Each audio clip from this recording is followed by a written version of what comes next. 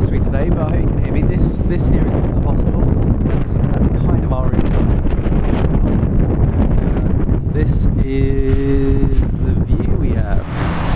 Just there, check that bad boy out. Amazing, huh?